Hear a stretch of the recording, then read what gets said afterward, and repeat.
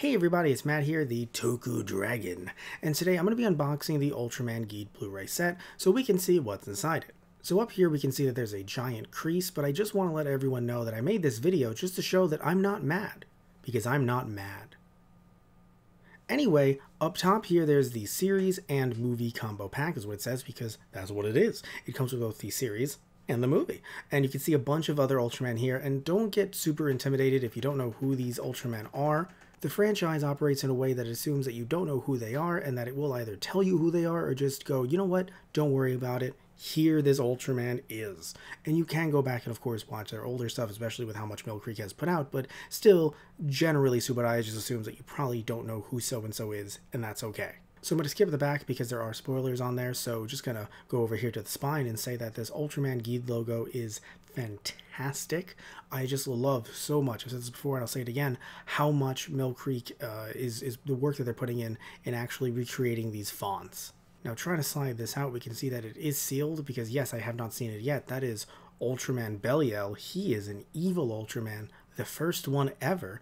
I remember when they first talked about him and released him, and I'm old disc made in Mexico, so I'm fine with that being there. But what's weird is depending on the release, and we'll see this more as I do more and more of these unboxings. When we remove the um, the actual plastic wrap, you'll still see it there. So I don't know what's going to happen this time, but it will be happening in the future. So it didn't happen this time, but it's happened before.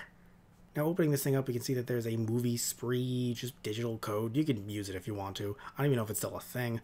And also there's an Ultraman Geed information and episode guide, which is really cool because Orb had it as well. And I'm just really happy to see that these first few didn't have guides like these, not just the Showa era. And we can also see that just like with the Ultraman Orb guide, when pulling the pages apart, they actually make a bigger picture, which I think is a pretty cool touch. Stand resolute.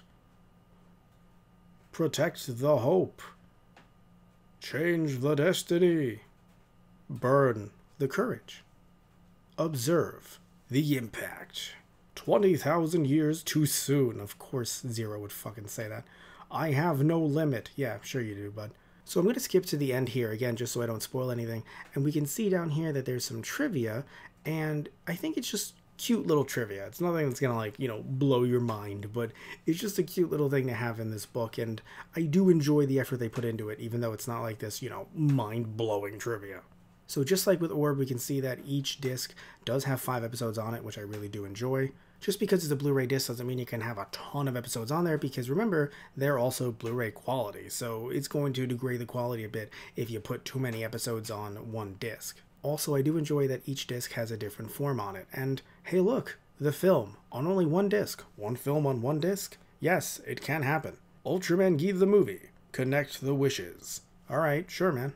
And that's everything you get when you buy the Ultraman Geed collection on Blu-ray. So, thank you all so much for watching the video. If you like the video, please remember to like and subscribe. And if you don't like the video, as always, you can still like and subscribe either way. I won't judge you for it. So, love you all, take care, and tune in next time. So, I'll see ya.